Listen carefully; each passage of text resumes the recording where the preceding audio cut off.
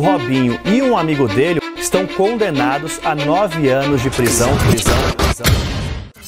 Robinho surgiu como a maior promessa do futebol brasileiro na época. Muitos chegaram a dizer que ele seria o novo Pelé. O próprio Pelé disse isso também. Robinho pode sim me superar e tem condições reais de ser melhor que eu. Ele foi para a Europa com o sonho de se tornar o melhor jogador do mundo, mas não foi bem como planejado. Não só os atritos com treinadores, mas também as noitadas. Robinho acabou tendo um final de carreira cheio de polêmicas chegando a ser condenado a nove anos de prisão. Fique comigo até o final deste vídeo e veja como Robinho passou de uma joia do futebol a um dos finais de carreira mais assustadores da história. No início dos anos 2000, havia uma estrela de destaque que todos queriam ver, Robinho. Ele começou jogando futebol nas ruas da favela de São Vicente, São Paulo. E em uma de suas brincadeiras, Robinho despertou a atenção de um oleiro de um clube de futsal da Baixada Santista, o Beinamar. Robinho e sua família gostaram e aceitaram o convite, e no futsal, o já hábil Robinho, com tão pouca idade, desenvolveu ainda mais seu controle de bola. Desde muito jovem, já se notava o talento do garoto. Não demorou muito para que o clube do rei do futebol viesse atrás daquele grande talento. E foi aí que surgiu uma oportunidade no futsal do Santos. Depois de um ano no futsal do Santos, em 1996, Robinho fez um teste na equipe infantil de futebol de campo. E claro, foi aprovado. Robinho trocou a quadra pelos gramados da Vila Belmiro. Era o início de uma carreira vitoriosa no futebol brasileiro. Até então, as coisas iam muito bem. Ninguém imaginaria o que aconteceria com Robinho algum tempo depois. Você já vai entender do que estou falando. Ele tinha a velocidade, a capacidade inigualável de escapar do adversário com dribles geniais a técnica impecável e os chutes estrondosos de longe. Seu entusiasmo pelo jogo não tinha limites e sua habilidade não podia ser contida. Rapidamente, Robinho se tornou um dos mais promissores jogadores do futebol do Brasil. Quando estreou pelo Santos em 2002, o mundo inteiro começou a falar dele que tinha tudo para ser a próxima grande joia brasileira. Houve até quem fosse mais longe e dissesse que ele poderia ser o novo Pelé. O próprio Pelé disse na época: ele tem condições reais de ser melhor que eu. Robinho pode superar minhas próprias conquistas. Temos que agradecer a Deus que mais um Pelé pousou no Santos. Os jogadores raramente se beneficiam dessas marcas, mas de fato Robinho parecia ter todas as características necessárias para ser um dos jogadores de maior destaque do futebol mundial. Se Pelé era a estrela de seu próprio show, Robinho era apontado como substituto capaz, mas não demoraria muito para que o título de O Próximo Pelé viesse ladeira abaixo.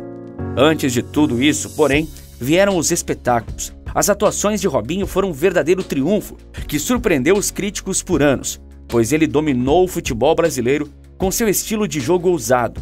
Com uma magia incrível com a bola nos pés, Robinho conquistou todo tipo de admiradores pela forma como conseguiu aproveitar ao máximo suas raízes do futsal pelos Santos time que o levou a conquistar a bola de prata e a bola de ouro de melhor jogador do futebol brasileiro em 2004. Simplificando, ele estava se segurando firme contra a maré de suposições.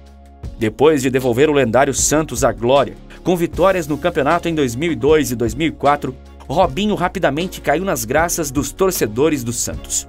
Mesmo com seu profundo amor pelo Santos, era inevitável que a Europa viesse em busca desse talento.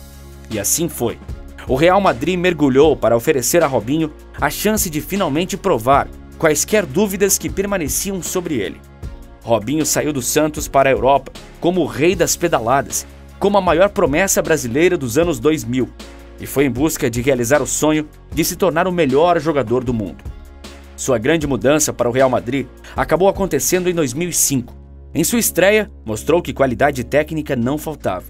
Apesar de algumas atuações impressionantes, Porém, seu desempenho nunca correspondeu às expectativas que eram colocadas e aos poucos o atacante foi perdendo lugar na equipe. Pouco aproveitado por Fábio Capello, o brasileiro passou a dar declarações dando a entender que queria muito deixar o clube. Vestindo a camisa 10, Robinho esteve ao lado de lendas do esporte que eram muito profissionais, mas preferiu se juntar a outros jogadores que não deveria. O próprio holandês Royston Drenthe, que fez uma grande amizade com Robinho no Real Madrid, chegou a assumir as constantes noitadas do grupo. Em entrevista, ele chegou a declarar que Robinho havia construído uma verdadeira boate no porão de sua própria casa. Criei uma boa relação com Robinho logo após minha chegada ao Real. Às vezes eu ia na casa dele, onde ele até transformou o porão da casa dele em boate, revelou a ex-promessa do Real. Sua passagem na Espanha foi boa, no entanto, a forma polêmica com que foi conduzida a sua saída manchou um pouco sua imagem. Quero sair e tenho caráter para dizer à imprensa que não pretendo ficar no Real. O meu objetivo pessoal é ser o melhor jogador do mundo e isso não vai ser possível no Real Madrid, disse Robinho. Após se desligar do Real, tudo indicava que seu destino seria o Chelsea de Luiz Felipe Scolari, tanto que o clube inglês já havia pré-fabricado camisas com seu nome e já estava vendendo. Mas de última hora, o jogador desembarcou em Manchester.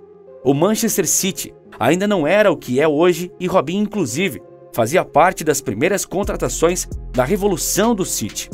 Curiosamente, sua estreia ocorreu diante do Chelsea, com direito a um gol de falta. No decorrer da temporada 2008-2009, foram 14 gols marcados na Premier League e um rendimento de razoável para bom. Depois, despencou e saiu em baixa. Pela segunda vez, teve problemas com outro clube. Insatisfeito por ter que jogar um jogo sim e outro não, ele foi emprestado ao Santos, onde formou um belo trio com Paulo Henrique Ganso e Neymar. Após a Copa do Mundo de 2010, Robinho se juntou ao Milan. A essa altura, ele deveria estar no auge de sua carreira. O título de O Próximo Pelé já havia passado. Sua carreira tomava um rumo totalmente diferente e o sonho de se tornar o melhor jogador do mundo estava cada vez mais distante. A situação de Robinho não era das melhores, mas iria piorar e muito.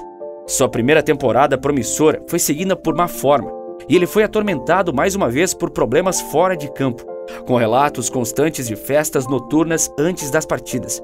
Tanto que o jogador teve seu nome envolvido em um caso de estupro na Itália, o que manchou para sempre sua história. E sim, em 2017 foi confirmado o caso e Robinho foi condenado na Itália por ter agredido sexualmente de uma jovem albanesa em uma casa noturna em Milão, em conjunto com outros homens em 2013, quando jogava pelo Milan. Imediatamente, a Itália pediu a extradição do jogador para a Europa. Com a negativa da extradição do ex-jogador, a Itália enviou ao Ministério da Justiça brasileiro o pedido de que haja transferência da execução de pena, ou seja, que Robinho cumpra os nove anos de prisão aqui. Para que isso aconteça, são necessários alguns requisitos que ainda estão em andamento. Logo depois, Robinho teve passagens curtas por vários clubes, um deles o Atlético Mineiro, mas nunca mais foi o mesmo Robinho que surgiu na Vila Belmiro. Logo após sua mudança para o exterior, muitos começaram a usar palavras como decepção, desperdício e fracasso para descrever a carreira de Robinho. Atrito com treinadores, deslumbramento com dinheiro, noitadas e um fim de carreira polêmico. As expectativas eram altas sobre ele, mas Robinho nunca conseguiu realizar o sonho que sempre teve de ser o melhor jogador do mundo. Algumas pessoas esperavam que eu ganhasse a bola de ouro. Quando Pelé fala sobre você, todo mundo escuta. Então fizeram comparações, disse Robinho. No dia 4 de julho de 2022, aos 38 anos, Robinho anunciou oficialmente sua aposentadoria do futebol. Sem atuar desde 2020, Robinho confirmou que abandonou a carreira depois da condenação recebida pelo caso na Itália. Mas enfim, agora eu quero a sua opinião. Pela forma como saiu do Santos, como uma grande joia do futebol brasileiro, você esperava que ele correspondesse às expectativas? Escreve aqui nos comentários que eu quero saber.